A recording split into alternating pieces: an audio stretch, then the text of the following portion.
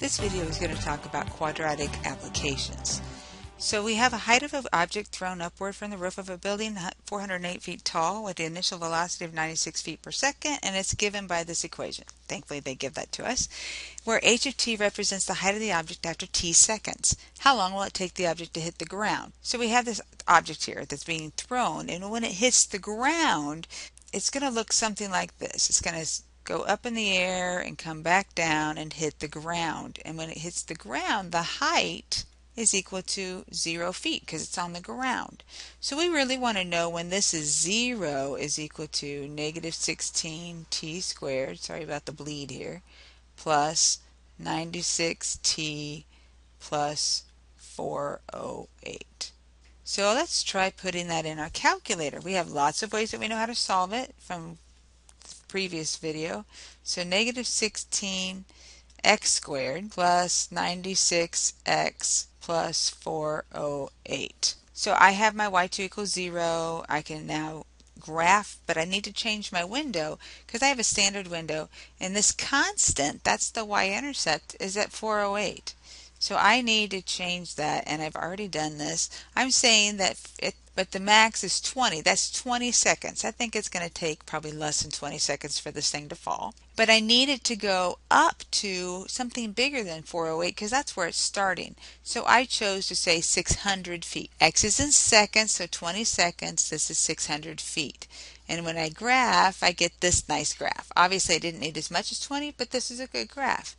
I want to know this point right down here. So I need to intersect. I already have the y2 equals 0, which is the value I want the height to be. So I do intersect, which is 5. And I just have to press enter, enter, enter, because I'm already on that side of my graph. And it tells me that t is equal to 8.87 approximately seconds. When it hits the ground, it takes 8.87 seconds to get there. Cost to produce bottled spring water is given by the cost equation C is equal to, that's a negative 16x plus 63, where x is the number of bottles in thousands. And then total revenue from the sales of these bottles is given by this equation. So determine the profit equation. Well, profit is revenue which is negative x squared plus 326x minus 18,463 minus the cost equation which is 16x plus 63. But remember this is going to be now minus 16x and minus 63. Negative x squared stays, but 3 26 minus the 16x, they're both x's, gives me plus 310x. I know I could have done that in my head. And then negative 18, 4, 63 minus 63 more gives me minus 18, 5, 26. So that's my new equation. So it says after a bad flood contaminates drinking water of a nearby community, the owner decides to bottle and donate as many bottles of water as it can without taking a loss. This means they break even. Approximately how many bottles uh, will they produce for the flood victims? That means that their revenue is equal to their cost. Let's think about it this way. Revenue is equal to cost, or we could say that profit is equal to zero, since we already have that nice equation. So 0 is equal to negative x squared plus 310x minus 18,526.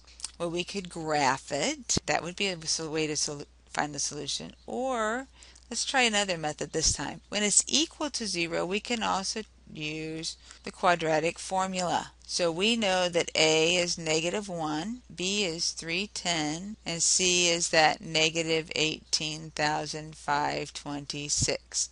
So program quadratic 84, quad 84, enter again, and we have negative 1, enter, 310, enter, and then negative 18526 and it tells us that x is going to be equal to 80.84 or or and whichever you choose 229.16 if we round it. How many approximately that they produce? We would want to say then that they're going to have the 229.16 thousand bottles. Because remember it was in thousands